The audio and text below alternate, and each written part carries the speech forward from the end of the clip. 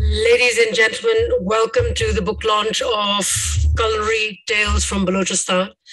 Um, this is a book by uh, Nilofer Afridi Qazi, uh, whom I have known for a few years now, uh, back from Pakistan. Um, everybody in Islamabad knows her. um, somebody, uh, you know, the, the, there are several ways of, uh, you know, of, of knowing Nilofer. Uh, what brings us here together is uh, our different relationship with her, but most importantly, that she's been uh, mapping Pakistan's food in 100 districts uh, throughout the country. And, her, and this is actually her effort put together on, on, on Balochistan, which we're going to talk uh, to her about.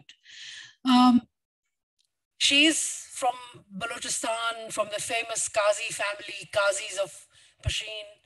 Um, and for many of us who live in Islamabad, she's the daughter of uh, a very renowned Pakistani diplomat, Ashraf Jahangir Qazi.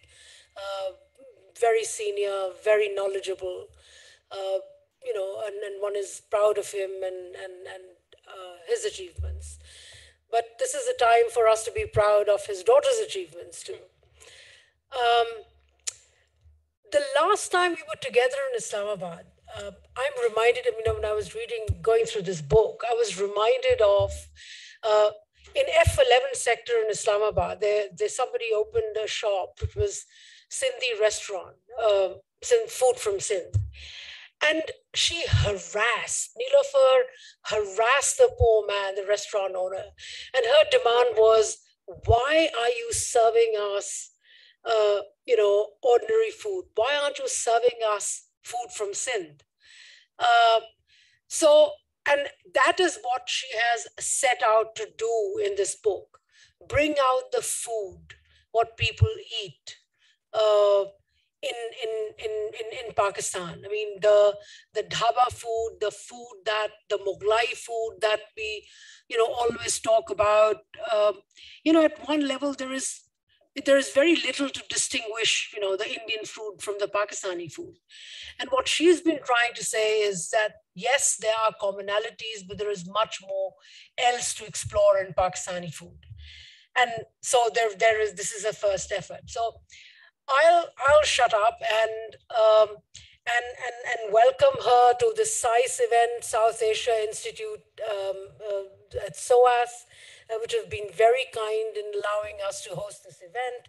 So I'll start, Nilofer, um, asking you in five minutes to explain to the audience why was it important for you to write about food from Balochistan? Thank you, Aisha. Dr. Aisha Siddiqa, a friend. Um, and thank you so much, uh, SOAS, for hosting my first physical book launch of Culinary Tales uh, from Balochistan. I've been food mapping Pakistan because no one has that's pretty much the reason why um, I started this endeavor. I mean, as a diplomat's daughter, I've been privileged and lived in many countries. And as a result, I have tried and enjoy and love many cuisines from all over the world. And when I had a chance to move back to Pakistan in 2005, I was looking forward to learning, experiencing the full spectrum of what is Pakistani food. And then over time, through work and you know, sort of observations, it sort of dawned on me that a lot of our culinary culture was hidden, invisible, and especially from the smaller provinces, smaller in terms of population, not in terms of land. So this bothered me. And then when I had the opportunity, God was very kind, um, I decided that let me chuck my job and do what I really am curious about. So, given my background in research, public policy, I sort of had the tools. So, I just shifted it into preserving, researching, and documenting our invisible culinary heritage. I start with Balochistan because it is the largest province of the country, the most invisible, and also happens to be my paternal province. So that's the short answer. right. Um,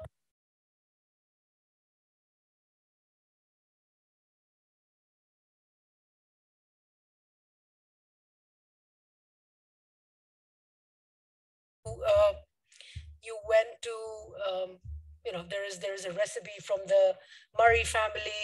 You have you've recorded your interaction with different big families right? What about food of the poor? Uh, i mean i didn't get the sense from the book that we uh, you know i could understand what the what the ordinary folk uh, the underprivileged in, in Balochistan were, were eating. That's interesting you say that because um, the entire book actually focuses on food for of the ordinary. There are actually only one recipe from the Khan of Kalat's kitchen. And that also, he was very kind enough to use his chefs to demonstrate a very common and popular ancient recipe, which is, for the lack of better word, commonly loved in plebeian. So actually, uh, uh, even the Marri recipe, uh, uh Uncle KB Marri's favorite food, what was um, interesting is that it is the common man's food, which was popular and his favorite. So actually, I would Uncle, say Uncle KB is Khair Marri. Right. So and there's a chapter dedicated to him.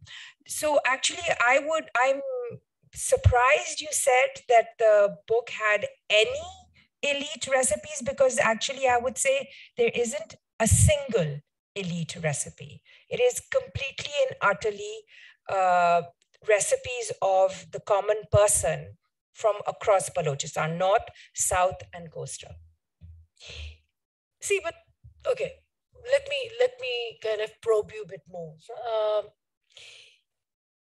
Balochistan is also a province which is underdeveloped, uh, has experienced a lot of, uh, you know, a lot of violence, uh, pressure from the state, uh, definitely deprived of its resources. And in fact, you talk about it. Yes. You know, why, for, for example, this mention of Sui. I mean, we in the rest of Pakistan have been so used to natural gas.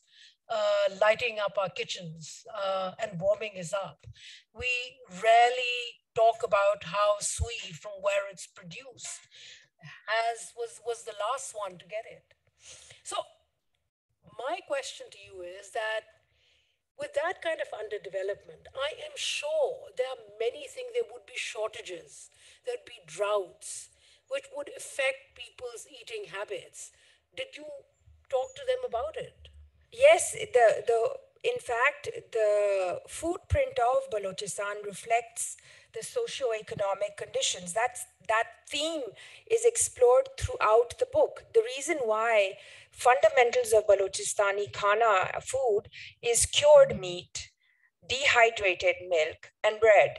And these three make the foundations of the culinary culture of Balochistan because of no electricity, no gas, extreme uh, weather conditions, and the nomadic and uh, the type of uh, lifestyle of the people in north, central, south, and coastal, the fishermen uh, folk. So absolutely the kind of food, the kind of ingredients, and as a result of the ingredients, the kind of recipes that I capture completely and utterly uh, reflects the socio-economic and the agriculture or the lack of agricultural patterns of the province. Absolutely, it's fundamental. No, but you know, when it comes to meat, I mean, meat is we are meat lovers and meat eaters. So you would find meat in in Khyber Pakhtunkhwa, uh, Punjab. In fact, does more vegetables uh, in some ways. So what's can you explain to our audience here what makes uh, Baloch cuisine different from rest of the country? First, it's not Baloch cuisine because that's an ethnic. So Balochistan, yeah, we have many uh, ethnic groups in Balochistan, and so the as I said, uh, the fundamental three ingredients which feed into uh, the base of food from the province is dode, krut, and landi. So cured meat, dehydrated milk, um, and bread. And there are vast varieties of these three. And there are many recipes of that in the book. Of course, there are many other recipes, dried fish, for example, dried goat, and many, many others. I mean, you know, there's there's a book full of recipes.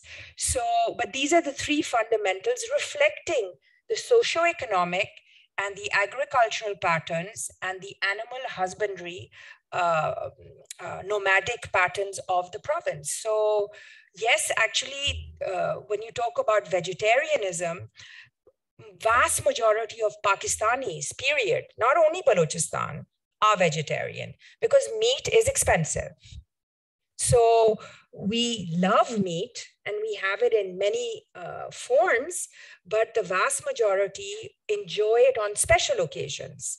And to uh, preserve it, they also dehydrate it or cure it as landi or tabahik in the coastal areas.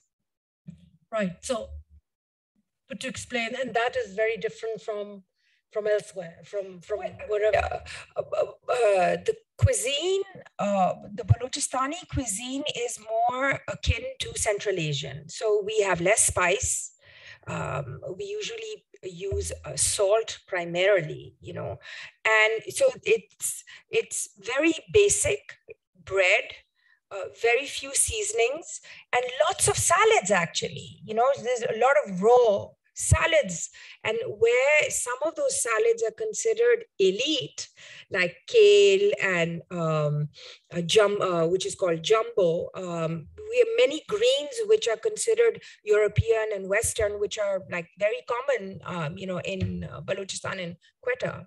So similarly with uh, herbs many of the spices um, um, uh, what are they called basil and rosemary you know which are uh, dill uh, chives gandana you know uh, which we use in our dum- dumplings yogurt. So you know like it has a lighter uh, you know uh, fresher central asian very low on spice uh, palette so yes, it's different to the plains where we sort of inundate our food with oil and spices and they're heavy, you know. And um, I won't say like they take more time to cook because there are different reasons why, uh, it takes a quite a considerable amount of time to cook or rehydrate. And uh, in general, agrarian societies, pre-modern societies, cooking takes a long time and preparing food takes a long time. So that takes an that's another debate and you know we go into a different line of conversation on that which i do explore in the book as well. So that is similar across for uh, our four provinces. But yes balochistan food is very different to what is familiar as uh, pakistani food which is mughlai and kashmiri uh, which is associated with Punjab or you know maybe very the urban centers of Pakistan. So yes, it's Central Asian, ancient Central Asian food. Can you also talk about the team? I mean, you were you on your own? Uh, because I get a sense that despite being from Balochistan, mm-hmm. you are an insider outsider. I mean, you don't really speak speak the languages. Right. So, what was your team, number one? And how did people react to talking to you? Were they op- did they open up? What about your interaction with women? Uh, you know, could you tell us more about? Let's step a bit, step outside the book and talk about your journey, uh, mapping. Uh, you know uh, the culinary tales of Balochistan. Uh, how did how did it go? I mean, how did you find the people? That's a really long question, but um, it's easier as a woman to enter the private spaces. I mean, this is a country and uh, country and pro- uh, provincially as well, which is conservative. It's uh, tribal, feudal, um, and so entering private spaces, it's much easier for women to negotiate that. And that's where food is cooked. And I was interested in invisible food. So I wasn't interested in food which were in restaurants or in uh, dhabas or small, you know, sort of public eateries. So accessing that, uh, those areas, I was privileged because I was female. But other than that, you're absolutely right. Um, I traveled alone and occasionally I had my editor uh, who was the editor of uh, Pakistan on a Plate, the video series that um, I have produced, which is online uh, at Nilofer's Corner. He would be on the other side of the camera when we were filming. But when it came to talking to the communities, um, I had, in many instances, interlocutors. So I used, for example, Balochistan Rural Support Program, um, family, friends, three degrees of separation. The Khan of Kalat is a family friend of four generations. I don't know him from Adam, but because I'm a Qazi, and so I could pick up the phone and he would extend his hospitality and, you know, drove down from Karachi and hosted me in Kalat.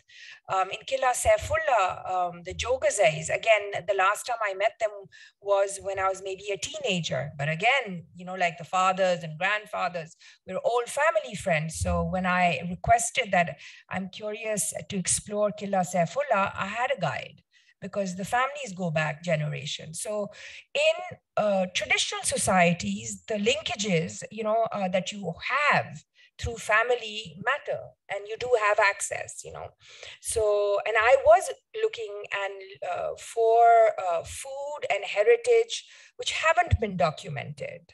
And to do that i had to enter private spaces. And to do that um, i had to use a series of networks that I was lucky um, in not only having, but uh, you know, having the interest in finding those linkages through two, three, four degrees of separation, or even one degree of separation. So now, in terms of their reaction, um, in the household, I would say 99.9% maybe 100% are women who cook.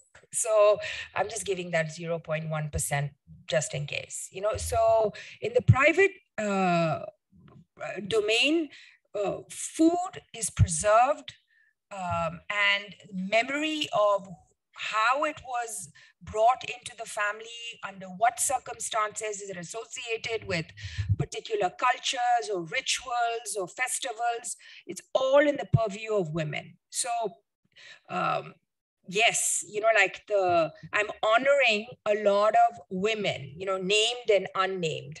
Many of them and in the book didn't want to be photographed. So that's why you know like there there are not as many photographs of women even my own family uh, members you know who maintain parda so no pictures of women where it wasn't allowed. So i have to I had to, I did, and I followed a protocol. Um, I actually honor two uh, very uh, distinguished male chefs associated uh, with food and recipes in Balochistan, who I believe have not been honored in the national landscape and narrative of our culinary heritage. So I have two chapters on them as well. And I explained to you why it, they are important and why I'm acknowledging them as important chefs. So, yes, men, of course, have played a significant role in, um, you know, like enhancing and honoring uh, food and culinary culture in Balochistan.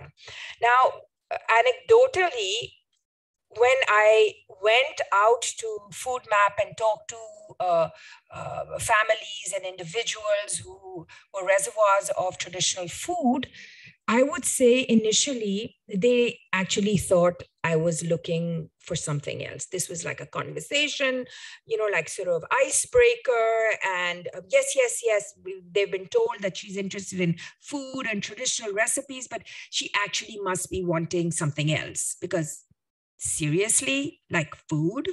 Like it's not really important. Like how can somebody from outside who's educated who isn't from the province i mean other than family come all this way spend so much time with us and she's interested in food? Like our recipes? So this was something i saw everywhere that there was very little recognition and honoring and respect of their own tradition, which kind of broke my heart and kind of reaffirmed the need to document these recipes because they have no value for these.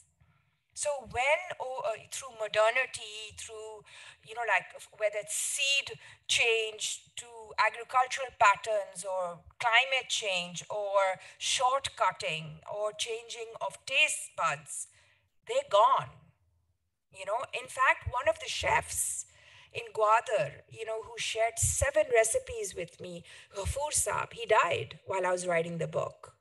So I have seven of his recipes. And if I hadn't written them down, poof, gone. So fish halwa recipe is preserved because I wrote it down. How did it taste? Fish halwa. Never, never, never imagined. Hi, Tarek. Another cousin who I've not seen in. So, uh, so the the question is, that, uh, yeah. Uh, could you also explain? I mean, I was very amused by this green halwa, and I never thought of never thought of halwas being green. They've always been either yellow or, or red, but green halwa, how does it does it taste different? Um, well, you know, the Gwadri halwa is green, and I actually asked the question, why green? And they, you know, like the um, the chefs, uh, Makrani chefs looked at me and said, why not?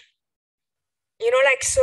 Uh, you know, there's no story of why it's green, but it's uh, the base is nishasta, which is sprouted wheat. So it's gluten free um, and natural sugars. Again, why? Because this is an area which doesn't grow sugar. So now, of course, they can get sugar, but they invented a recipe where they took wheat and it sprouted, you know, uh, over a, a, few days, and that releases natural sugar. Then they ground that wheat, which has, you know, sort of natural uh, sweeteners, and then that they converted into a halwa, and then they colored it. So, and the market for this Gwadri halwa is in the Gulf, right across in Oman primarily and Bahrain. So, where you know the the economic uh, relationship is very strong. I would say perhaps stronger than um, Quetta and the rest of the country, as I explain in the chapters. You know, you you also partly uh, tell the story of Oman and Gwadar the whole story of how Pakistan bought Gwadar back from Oman. One version. Yes. One version. So, A, what is the popular version? What what ordinary people believe in? Uh, that's one. And what are the, I mean, your, your father being from the foreign service and a very senior person at that, I'm sure you must have found the story from him as well. What did he? Or did you share the story that you heard in in uh, Balochistan when when you got back? You must have discussed it with him. I don't know. I, I don't think I discussed this with Baba, but um, the book is written in a very specific way. My opinion doesn't quite matter uh, when it comes to what I hear from various quarters. And on the issue of Gwadar, which is, the, for those of you who don't know, it's the coastal belt of uh, Balochistan, which is where the CPEC, this very large um, you know, like investment from China, and you know, like a, it's a very important deep sea, uh, deep sea port. So it's the coastal belt of uh, Balochistan. It's also the largest coastal part of Pakistan, uh, 970 kilometers long. It links Karachi to basically the Iranian border, uh, the entire uh, coast. So. Um, we have been told, and it's not told, it actually did happen in uh, in in the 1950s. Uh, to be exact, I'm not sure. It, was I think 1958. I uh, I think. Um, the state of Pakistan bought Gwadar from the state of uh, Oman. This is a fact. Now, the Khan of Kalat disputes that in that why did you buy something which we already owned? Because it was very, which is also a fact that it was part of the Khan of Kalat's state, part of the Khanate. So you have these two contradictory histories of a very interesting and large part of Pakistan. And depending on who is telling the story, they have different versions. And then, of course, the Gwadris have a third version because here you have these two competing states, you know, like the modern state of Pakistan and then the pre modern state where you had kings, uh, the Khan of Kalat. But you also have a local story as well, who have a very different relationship with both the state and the pre state Khan of Kalat, who himself actually was an invader to the, eh, to the area. So you have three stories of, of Gwadar. And so I'm not interested in privileging and which is right and which is wrong. The book shares all three. And I leave it to the reader to decide or just learn. Because sometimes it's not about, you know, like which one is right. It's about just giving voice to difference of opinions. And I think especially when it comes to Balochistan, that is the most important thing, that listen to local voices. Uh, you know, according to the public narrative in Pakistan, uh, a state narrative, I would say, we're told that Balochistan, you know, major part of Balochistan is dominated by the Sardars, the tribal system, uh, you know, and you do mention that. But you also have the coastal belt, which is not tribal, you know, which is not dominated by the Sardars. So I'd be curious. I mean, do you see differences in the eating patterns, in the food patterns, the, the two regions? Uh, and let me ask you an even cruder question. Um, who is better fed in, in your mind? I mean, who, who eat better, uh, you know, compared to the other? I mean, I, I would I would assume that uh, I mean one is one is you know one is about what is available, uh, but power politics does have an impact on who you are, how you are. So how do you compare the two regions? Um, subsistence living is the norm in Balochistan. So, uh, Quetta, of course, being the capital, is you know sort of this uh, the hub and center, and you know all those who have money either live there or have a home there if they come from you know different parts of the province. There are 26 uh, you know districts within uh, Balochistan. Um, I can't privilege one or the other. I mean, you know, uh, unfortunately, if you look at numbers by UNICEF or you know you know uh, agencies which are looking at nutrition and you know malnutrition. Uh, Balochistan is uh, after Sindh we have very high malnutrition numbers. You know, so I was focusing on uh, recording and preserving food. So my observed um, surroundings, I I was, you know, you had nomads, you had herdsmen, you had uh, people living in mud huts. Uh, they didn't have electricity. Um, gas cylinders where uh, they could afford it. They were used, you know, sort of portable gas cylinders so they could um, cook in the open spaces because in the coastal areas, the weather gets very hot. In fact, it's hot most of the time. So even in December, it's sweltering, you know, so um, they would prefer to cook in sort of open air environment, you know. Drought is very common. So when I went, I went to Gwadar a couple of times. Uh, uh, the one time I went, they had got rain after seven years. So rain fed uh, agriculture. That means what do you do when you don't have uh, water? They already have a problem with water. They don't have rain. So everything is preserved or um, it comes from Karachi or Iran, very close ties with Iran. So the shops are, the small markets are full of Iranian products and or um, kitchen garden, you know, sort of uh, subsistence um, uh, uh, growing of vegetables, etc. Or, as I said, bread, dried uh, and meat. Hmm. And you do talk about a difference between the Iranian krut and the the Baloch, Balochistan group. That's right. I spent an, a, a bit of time describing the various varieties of krut because it's a fundamental ingredient in many of the recipes. And you have Iranian krut, you have Turkish krut, you have Quetta, uh, Quetta based krut, Afghan krut, and I sort of explained to you what I observed um, and Aisha can also tell you because I brought some with me. She nearly fainted.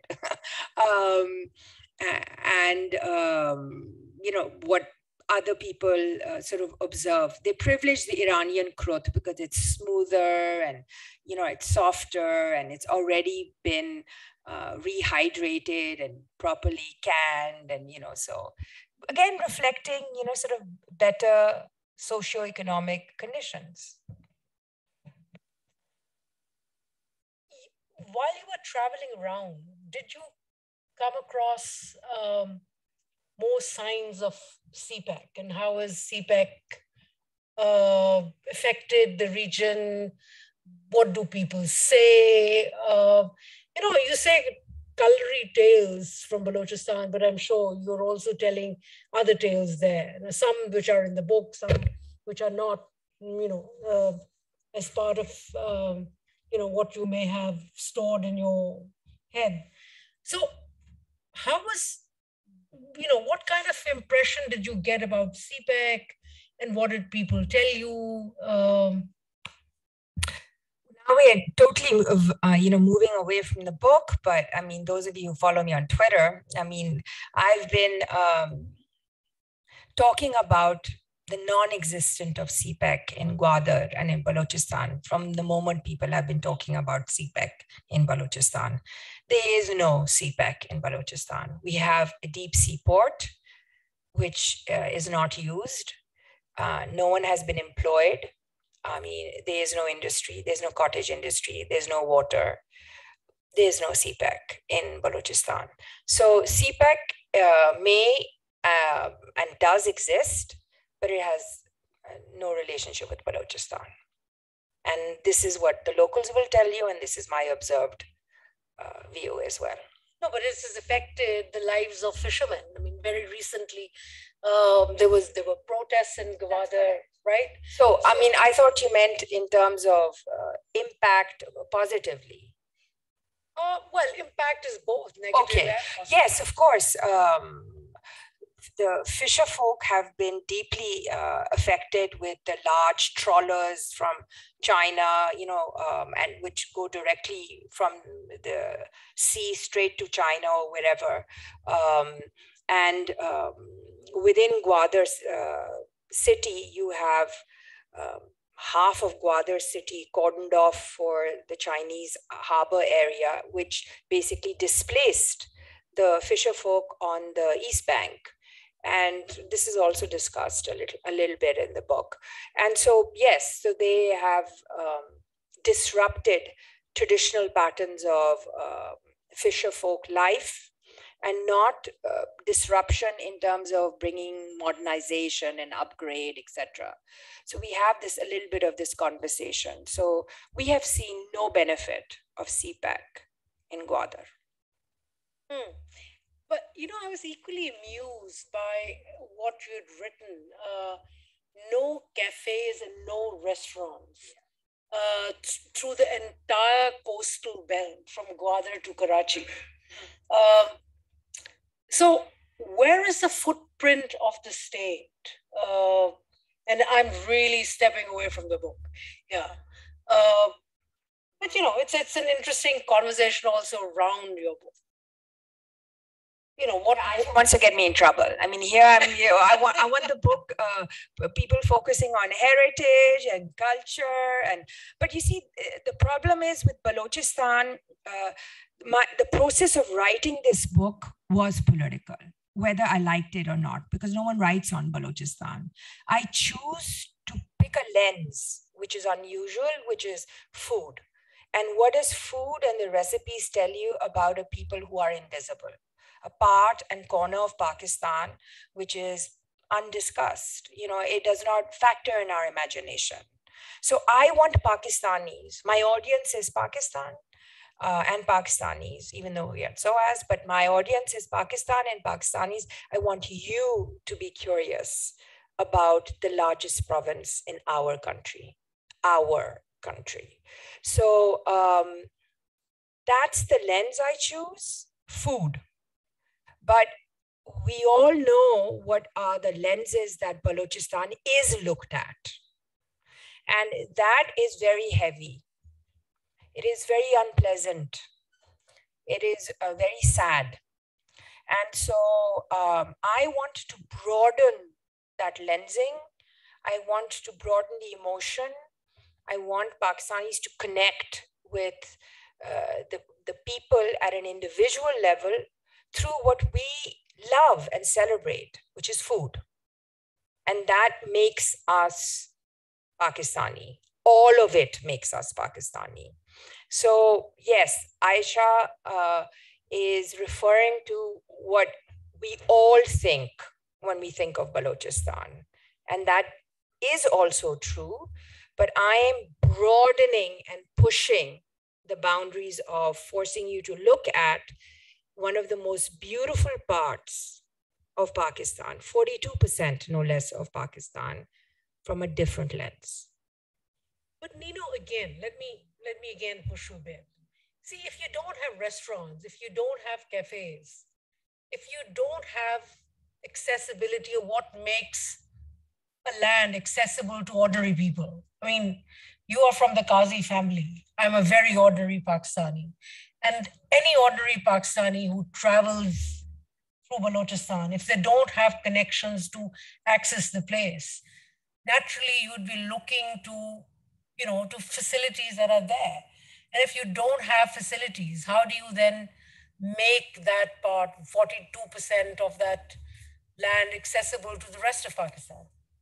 Um, yes, um, yes. I mean, my job is to record and research uh, the recipes before they die out.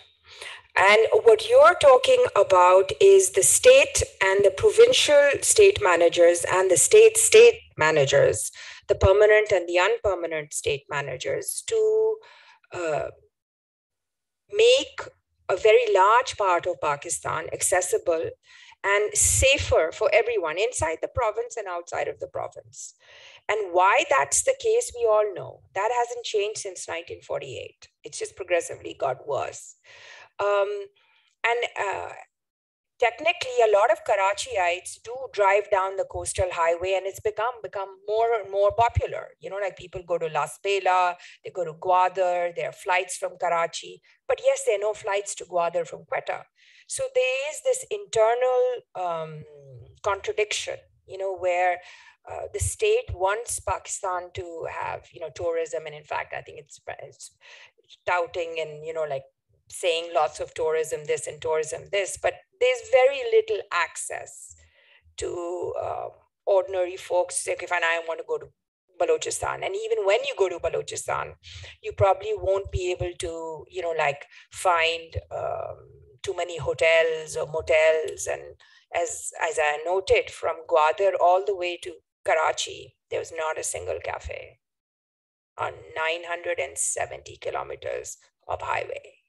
So, the most beautiful virgin beaches you will ever, ever see, but it, they are not, you know, like um, tourist friendly they are adventure travel friendly, um, but they are not, you know, sort of let's, you know, like with our families and, you know, like young kids or whatever, you know, like friendly.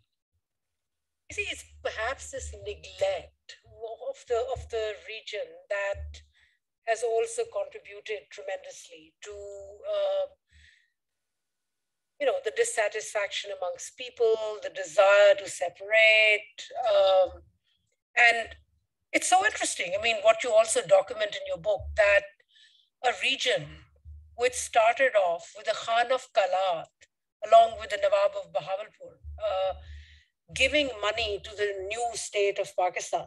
I mean, nobody talks about the Khan of Kalat, Khan of Kalat giving money to Quaid-e-Azam and the new state of Pakistan. Uh, you know, it's not in our in our textbooks anywhere, and, which I uh, mentioned. Yeah, you have mentioned it. Uh, and there is this lot of pent up resentment amongst the people. And it's so interesting that you document bits of your interaction with uh, Nawab Khair Bakhsh Marri, um, who struggled with, who tried in many ways to negotiate with the state of Pakistan, and then probably realized that there was no negotiating with the, with the state of Pakistan. So, could you tell us a bit more, or the audience a bit more about Nawab Khair Bakhsh Marri, what you have about him in this in this chapter here, and uh, why did you pick him uh, in particular uh, and use him to uh, you know uh, use him? You know, he, he there is a chapter about him. Um, Nawab Khair Bakhsh Marri was my uncle. He was married to my mother's uh, sister, so he was my papa in um, Urdu. So it's the book is full of my relatives and prominent uh, members of the family who had a role in um, Balochistan in many forms, culinarily also, but politically, socially, culturally, legally, etc. In fact, Tariq's uh, grandfather, Qazi Isa, you know, was uh, youngest member of the Muslim League and very close ally of the Qaeda Azam who created Pakistan. You know, he, his grandfather ensured Balochistan would be part of Pakistan. So we are very proud of our family's contribution uh, to ensure the state of Pakistan had Balochistan. So I take that you know um, seriously. So Uncle KB, who is a member of our family, had a different view. You know, and I honor that view as well. As I said, we have many parts which make us beautiful. So the issue was and is that we want all members and all citizens of Pakistan and those in Balochistan to be honored and as equal citizens in a progressive safe Pakistan. That was a raison d'etre of Pakistan as a Qazi. You know, and that's how we grew up understanding the purpose of Pakistan. So when there are different points of view for legitimate human rights violations and etc you will have different you know like movements and um, Khair represented one of those movements and very legitimately. I mean, he, know, is considered to be the father of uh, the Baloch tribes, Baloch, uh, you know, of a particular ethnic group, deeply respected um, as a citizen of Balochistan. So he's included in Balochistan in the culinary tales of Balochistan because you cannot write a pan book on Balochistan and make reference to if you're honoring um, you know people individuals and not include him. And he also happens to have a personal connection with me so there was a double reason to mention him. Um, what uh, did i yeah was you know he ate simply what kind of oh oh yeah I, uncle kb was a very very um, stoic um, kind, gentle, soft uh, man. And to the outside world, a man of very few words. But I've known him all my life. We had very spirited conversations. Um, he came and stayed with me at Oxford. You know, he was very, you know, was even happy to sleep on the floor. And I, you Uncle KB, have to sleep on the bed. You know, so very humble. You know, and was interested in what I was reading. You know, like met my friends. Uh, we disagreed almost on everything politically, um, but he was very generous of heart and mind. And I think, you know, as a as a young from obviously seeing me as a child was very uh, encouraging you know like of let her think what you know and he argued with me and tried to you know but never lost his temper you know never was adamant and that says something as an adult now when i think about it you know like um, human beings who are confident you know and very secure you know in how what they believe in and their principles don't get angry. I mean you know because they believe in those uh, views and they have the generosity to listen to difference of opinions you know? And that's how i saw him you know as somebody who always strived towards you know like uh, um, simplicity inclusivity peace. That's how i see uncle kb you know, I'm, I'm glad you talk about it because, you know, for the ordinary uh, Pakistanis and for the youth in rest of Pakistan, uh, the way Khair Bakhsh Marri, Nawab Khair Bakhsh Marri is presented, it's important to know that is about his generosity, about his ability to engage with people.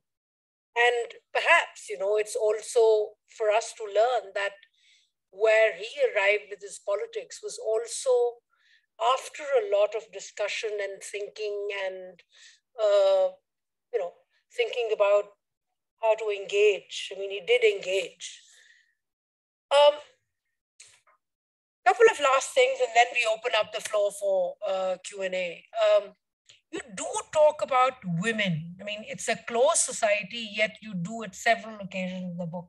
You do talk about different women, very known women in, in Balochistan. Can you, you know, talk us through some of them? Uh, who were they? Uh, why were they known?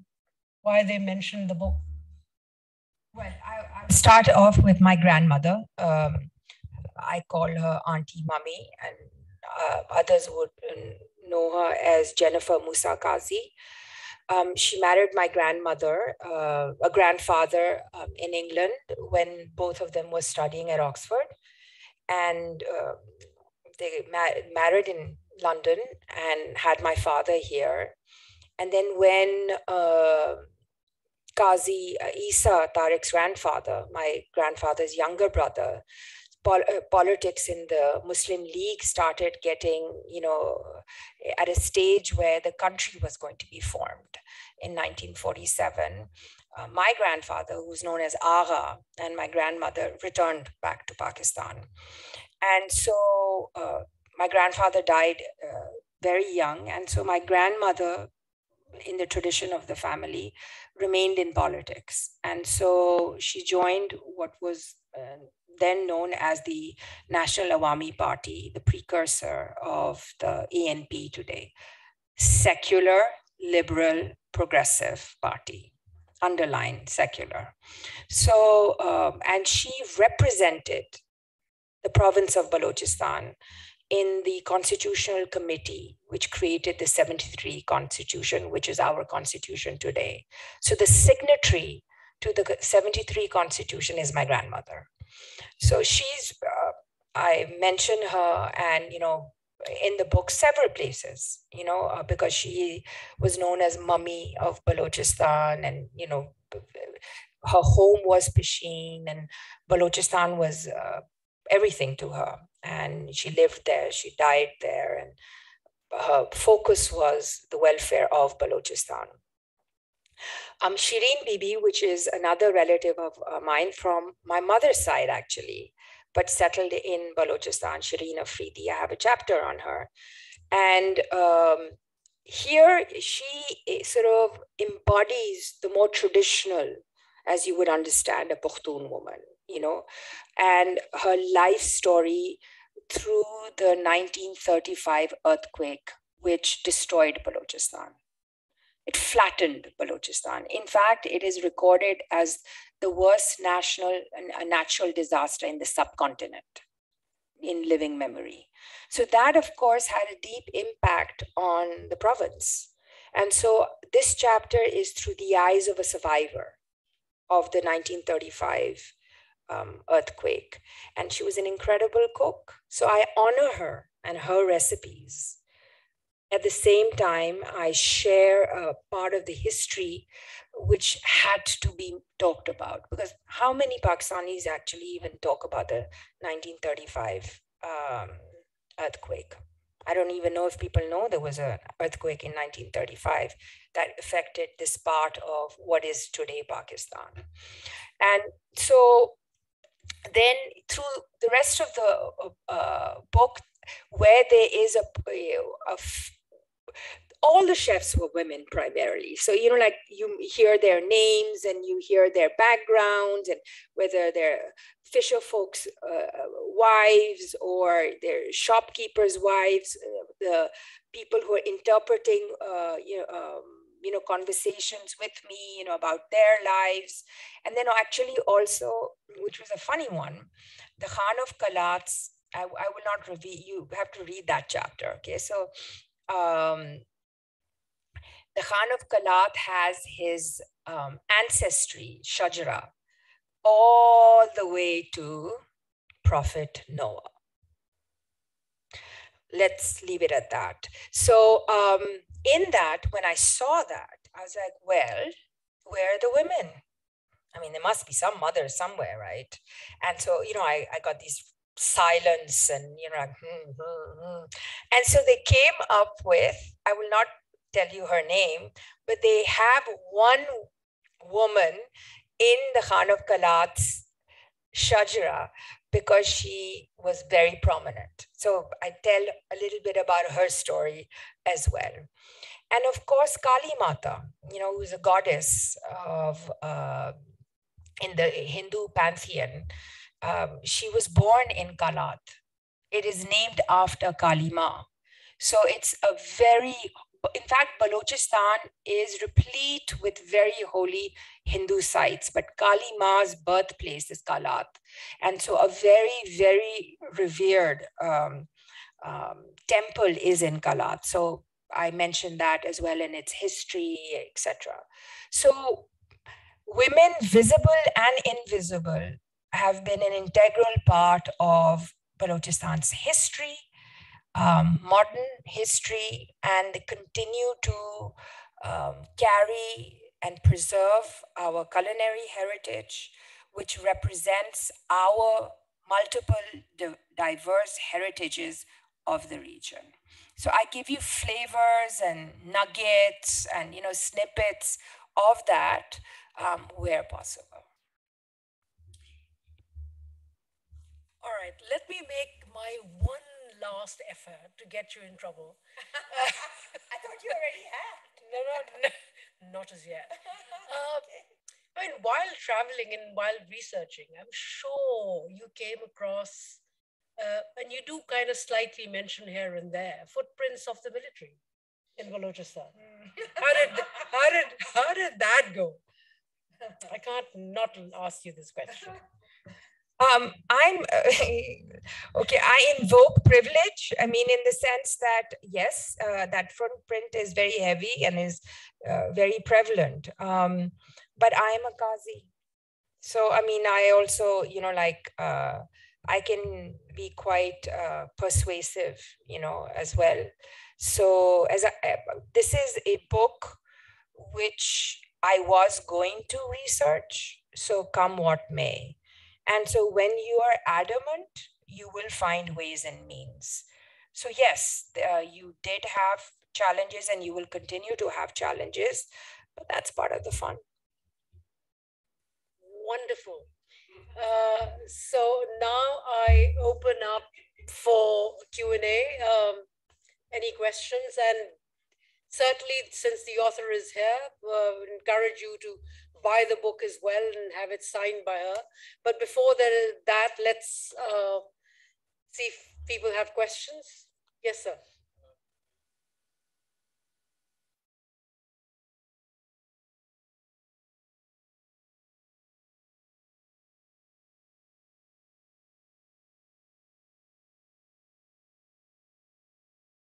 if you look at the book, the chapters are actually by location.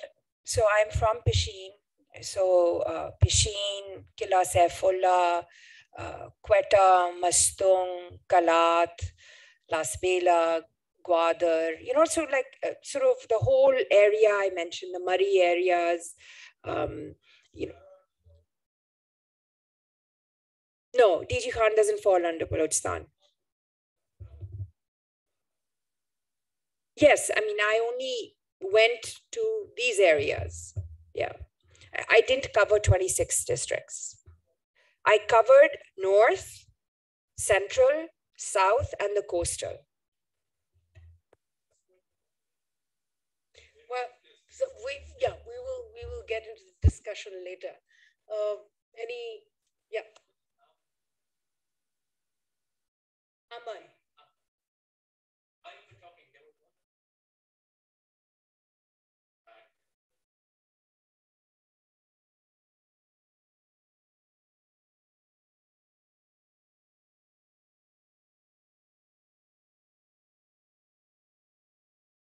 You have any in specific? I sorry, I wasn't looking behind. It was just like on a, a sort of roll. This is yeah. Just if you bring to any of the recipes, okay, this is landi. This is landi cured um, lamb, and it's described how it's made in the book in the first chapter and it hangs for about six to eight weeks in bitter, bitter winter cold. So you have to have very specific kind of uh, conditions. So not only cold like a fridge, but it has to be very dry, very, very dry. Otherwise the meat will rot. So this is a, a kind of cure, uh, curing methodology which happens in Killa, Saifullah, Pishin in particular. So it doesn't happen in Quetta so even in Balochistan, even in the north, it's in a very specific kind of area where the weather conditions allow. And hence, that's where Landi is considered to be very good. Do you have any vegetarian recipes here? Yes, yes, yes. Do we have photos? I'm not sure what they're. But you have. Well, this is um, aubergine and um, this recipe honors uh, one of the chefs that I mentioned who needed to, Piru Saab, who uh, has basically uh, for three generations, you know, um, fed um, anyone and everyone who was important in Balochistan because he managed the Pishin rest house. And so all the notables and, you know, from outside of the province and inside the province would come and Piru Saab, who uh, was the big chef over there. And I tell his story. I'm completely illiterate and self-taught, you know, and so his story um, I share. And so I have two of his recipes here never before written down. So his son and I sat and then, you know, sort of recreated because he also eh, by memory knew his father's recipe. So I saw him cook and we recorded his recipe. So this is one vegetarian and one non-veg. Yes, please. Sorry? Go ahead.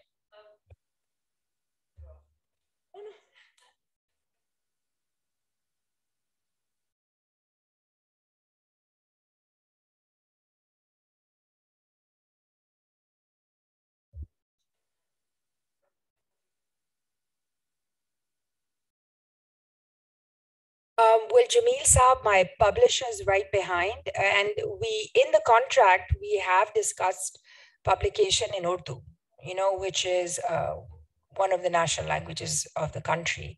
Um, I'm not sure. Uh, uh, I think the reaction would be that it would sell more. That's for sure, because uh, there's uh, English language books in Pakistan sell so many. So I think the vast majority of books would be in colloquial languages, you know, in the vernacular languages. So I hope so. I wish so.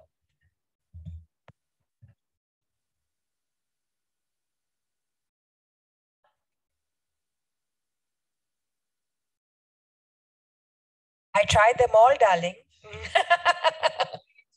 oh, favorite. Hmm. Well,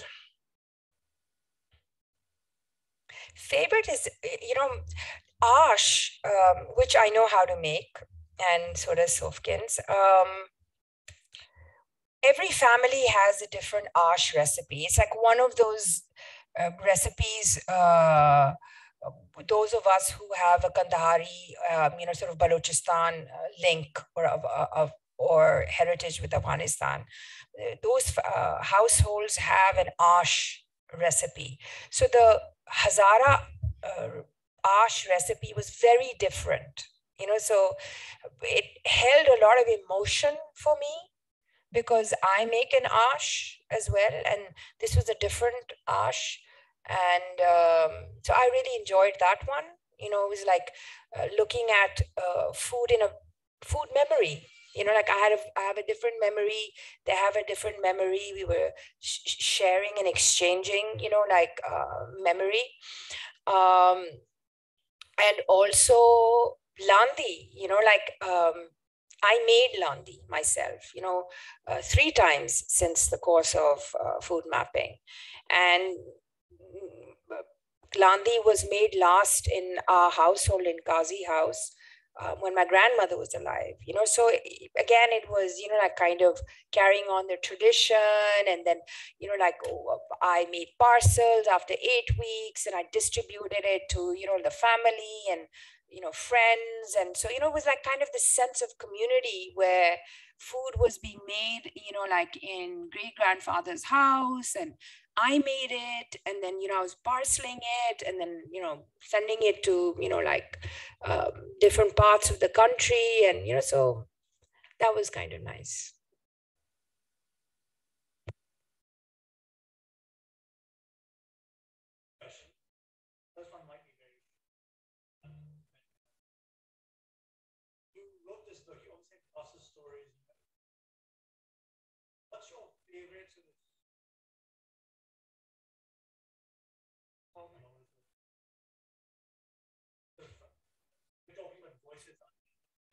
Is the voice? Second question is, um, uh, to get you to talk about this. Perhaps uh, nothing will get you in trouble, but what was the biggest challenge you feel? How did you? Hmm there were a lot. I mean, Nushul Gai did make the cut. Hopefully, in the next version uh, edition, we will have, um, which is an interesting um, sort of uh, fruits and dry fruits and nuts, kind of a samosa, but not quite. You know, so it was re- kind of reflective of you know like the fruit basket that is Balochistan of Pakistan. You know, we may not be you know. Uh, we have water deficit issues and we are not a big agrarian society, but we are the fruit basket of the country. So um, that recipe kind of reflected that element. So hopefully in the second edition, Nushul Gai will make the cut. Um, then, you know, what I found, uh, Usman, that, you know, every time I traveled back and went back to Pishin and then I found there was more I could have written. And I think I drove Jamil Saab and Beacon House insane because I wanted more and more and more. And at some point, you know, like they there's like, uh, okay, fine, you know, we this is the deadline and now we need to edit it and you know edit it down, etc. So I have a very strong sense that edition two, if we ever get into edition three, there will be more because you, there just is so much more, you know. Um, grape and manifestations and varieties of grape related stuff, which is absent, you know, when we have an incredible amount of uh, grape related stuff in Balochistan. Um, now the challenges and you know, distances. I mean, you know, like Balochistan is massive, you know, um, and where do you stay? Like I wanted to go to the interiors, you know, this really heart of Balochistan. In fact, I wanted to even travel to Gwadar through Quetta. I mean, like, you know, cut right across it. So, you know, those are, you know, there's a physical challenge, you know, to some extent, less so now, I think, security challenge, but logistical challenges and staying, time, you know, because the distance are really long, you know, our next door neighbor is like four hours away, you know, like, so the very, you know, like uh, distances. And then also, uh, you have to spend time, you know, so one is distance, but then also the explore it, because what I'm doing is for the first time. I can't Google it. So the only way this research comes into being is where I just I have to actually spend time, and it sort of kind of uh, you know reveals itself over time and through conversations, through degrees of separation and exploring different avenues, and that takes time, which again you know is um, precious, and sometimes you don't have the both the financial resources and just the time and the logistical infrastructure for it to be viable. So, um, as I say in the beginning and in the end, I mean, this hopefully is like a platform for deeper, wider inquiry and uh, a more uh, methodological and more intense interest in Balochistan. You know, people wise, location wise, food wise, food mapping wise. But this is a start. So it kind of hopefully tickles the senses of whoever from whatever angle to do more. Thank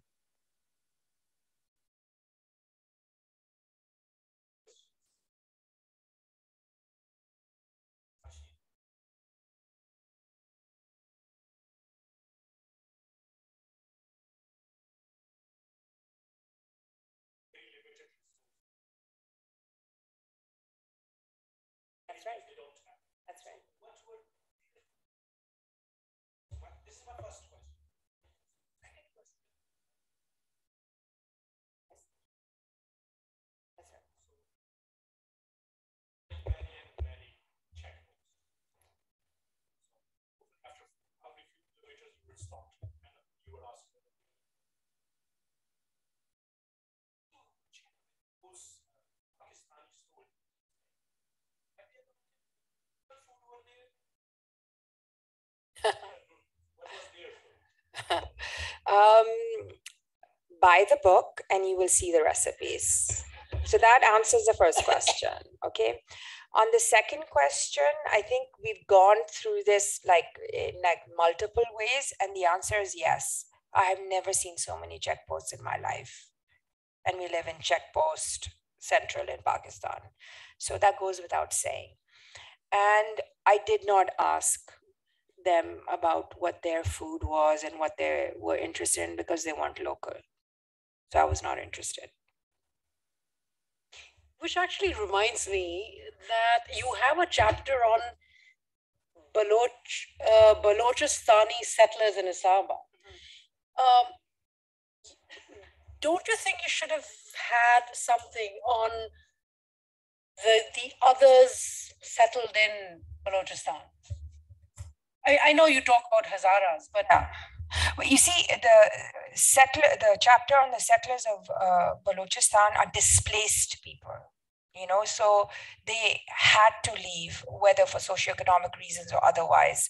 And the numbers are growing so large, so hence I had a chapter on them. Um, and the impact and what kind of culinary culture do they bring with them, you know, wherever they are settled. And in this case, I was talking about Islamabad and the outskirts of Islamabad. But what you're talking about, Balochistan's had waves of migration, you know, like over centuries. You know, even the Seva dynasty, which is like um, uh, thousands of years old. Uh, technically, the, even the Khan of Kalat, you know, and the Kalatis claim, you know, the connections from, you know, uh, Syria. So, and uh, the Pukhtuns, you know, like uh, coming from Central Asia uh, down as well. So everyone is actually a settler Balochistan, you know, so at different stages of history. And I, I discussed that. There are various groups and ethnic groups and their mythology related to where they come from and whose ancestry um, they link themselves. It's a very Pakistani thing. I'm not from here. I'm from somewhere else. You know, um, so it's it, it's also interesting. But we are Central Asian. You know, like vast majority of uh, people who come from Balochistan have linkages to Central Asia. But uh, of course, in uh, the last uh, 70, 100 years, you have people coming from the East as well. You know, like, so you have many communities, you know, who are not Pashto speaking, Brahui speaking, or Baloch speaking, or Farsi speaking, who uh, whose home is Balochistan. And believe you me, they are from Balochistan. My father grew up with them, and they're very much are part of the fabric of what is Balochistan.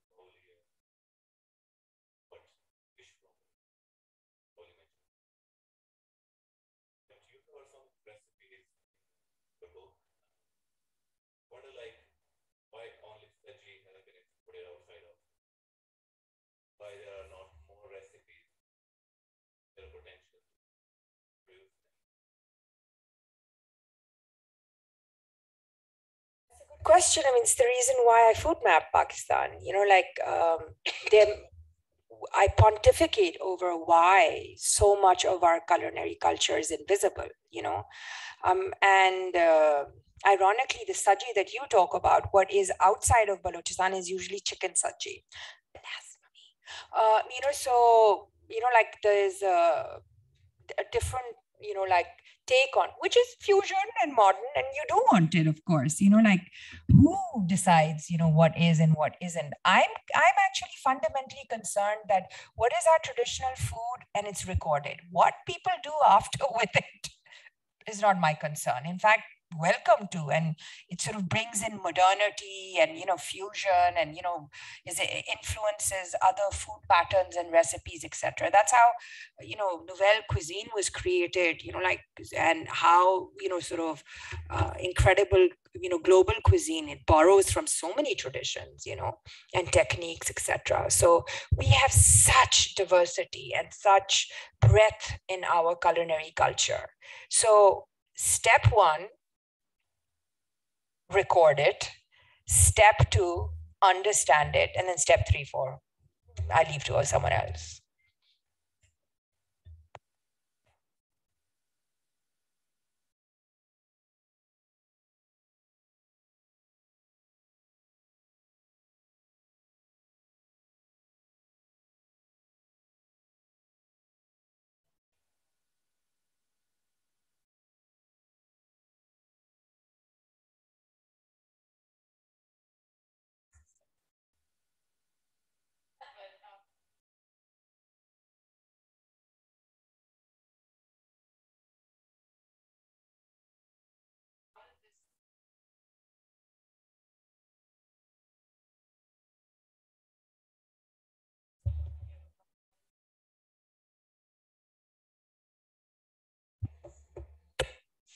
Thank you, Neetu. Um, I think identity politics is um,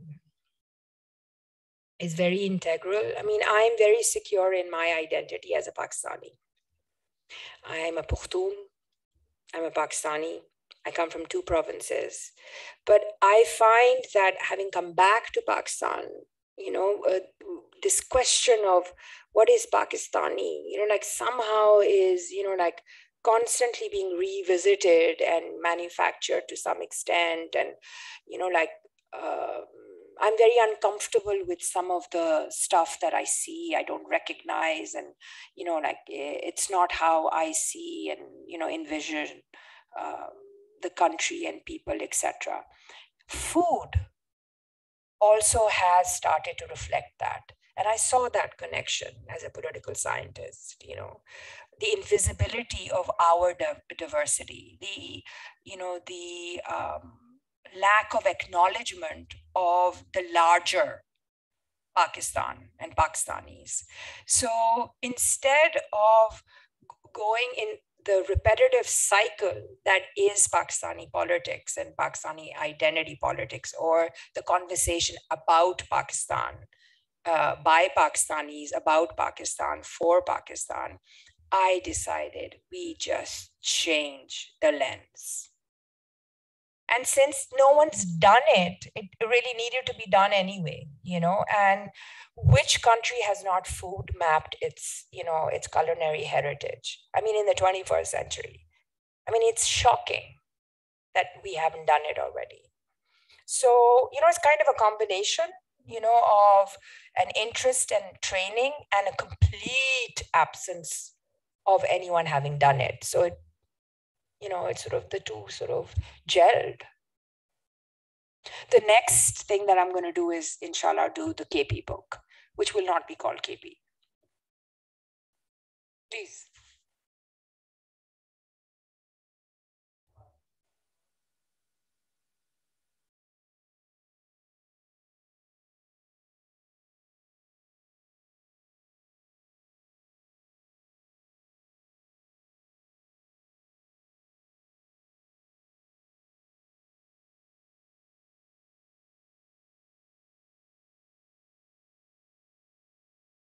Those of you who um, know uh, know me, uh, Pakistan on a Plate is a series um, on YouTube, Nilofer's Corner. 53 episodes, which cover um, all of Pakistan. Now, as I said, I food mapped 100 districts. So I've really done um, all of Pakistan. The books, this is the first of four books. So the next book is my maternal province, which is currently called KPK, but the book will not be called KPK. So uh, then hopefully, you know, Sindh and Punjab and others. And what uh, what I want, what I want, I don't know what I want. I want people to enjoy the book, buy the book, buy lots of the book. Um, just to think about, you know, like my country, my people, my food, uh, you know, with love and interest and curiosity. That's what I want.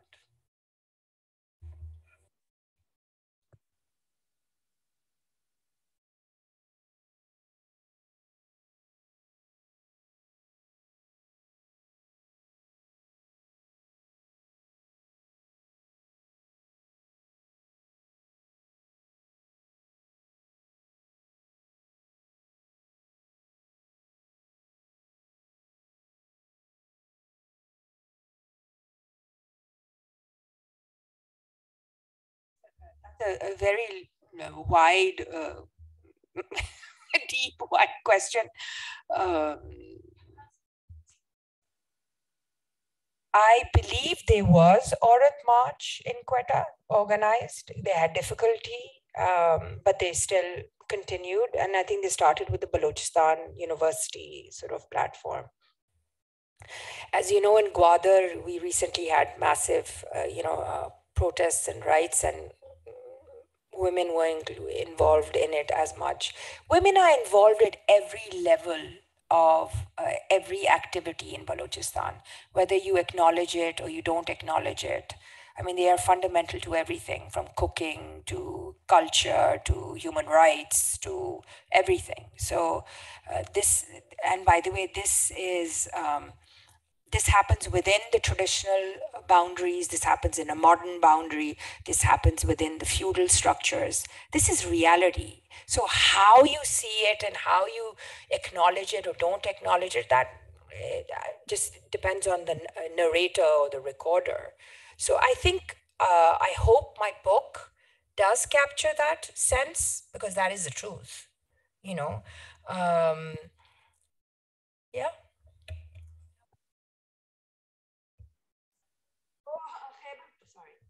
Khyber Pakhtunkhwa, which is the name of the province, uh, the third largest province. Four.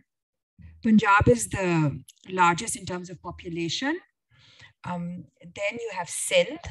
Then you have KPK, Khyber Pakhtunkhwa. The reason why, and then uh, you have Balochistan.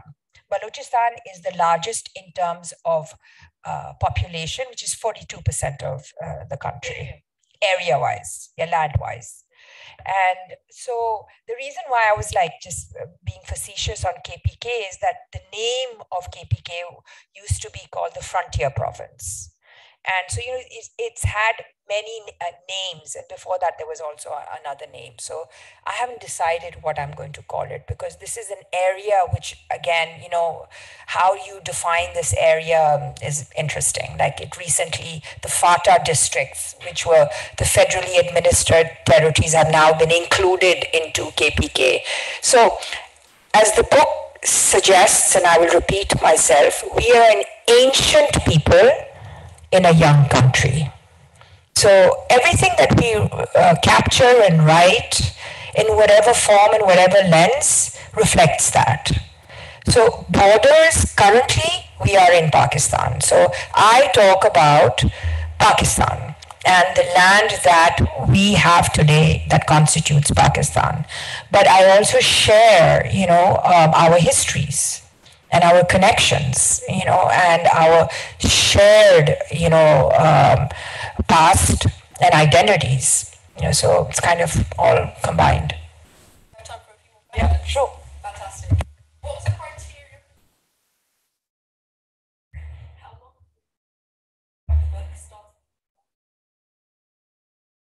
Why did you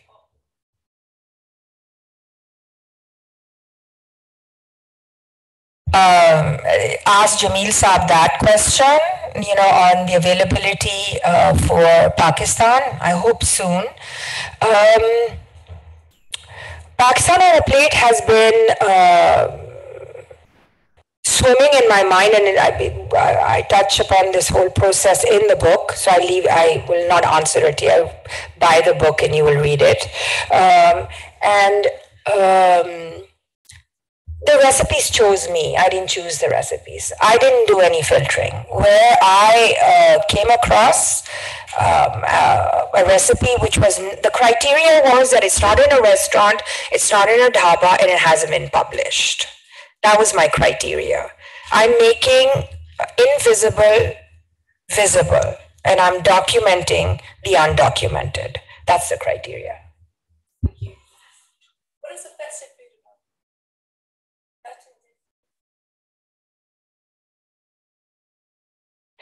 Um, actually, guadri halwa, anything that takes a lot of strength, you know, like are made in very large quantities and requires an incredible amount of manpower, you know, um, um, the domain of men. So large scale food, you know, or um, baking, the very large stuff that men do.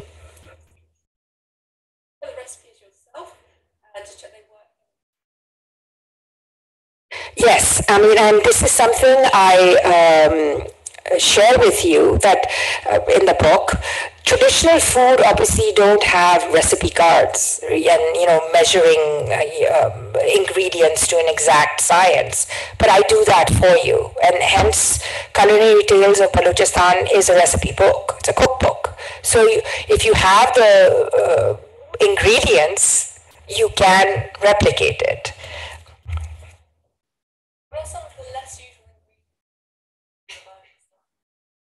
Oh, I would say 95% of the stuff that you're going to read, I would I would say that you probably have never heard of it. So, I mean, you know, guan soup, for example, which is uh, wild pistachio bean soup, you know, um, which is very rare uh, for most Pakistanis. Uh, I would actually safely say outside of Balochistan, probably no one knows about it, you know.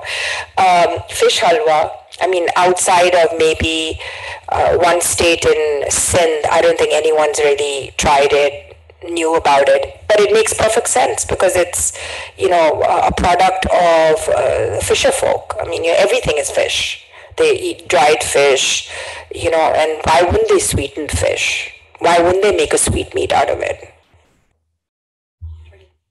Um, how do we go about buying the book? Um, well, Amazon.co.uk has it, and beaconbooks.net, my publisher's website, also has it. And if you happen to be here, you can also purchase it over here. Um, and there is one other uh, bookdepository.com, which is also a global um, distributor. What is your next? Um, I hope to write uh, the next book and get focused on that. You know, hopefully I'll begin in late summer, and because I have four to write, so I need to get going. you have so many positive comments. Congratulating. Thank you. We have someone uh, in the US um, who's 78 years old and want to find out more about Balochistan cuisine. So Thank you. Thank you so much. Very kind. I hope I'll get a chance to see every one of the comments and also respond to them where I can. Thank you so much for listening and participating. Buy the book. Ladies and gentlemen, thank you so much. The book is here for you to buy, get signed by the author. And my one last comment for Jameel Saab is Jameel Saab, next version of it, you have to make this book more accessible. thank you. Thank you, Farida. Thank you, Sai.